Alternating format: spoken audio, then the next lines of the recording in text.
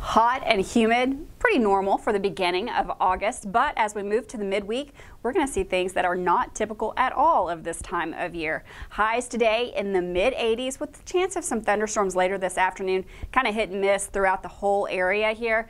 Lows tonight in the upper 60s.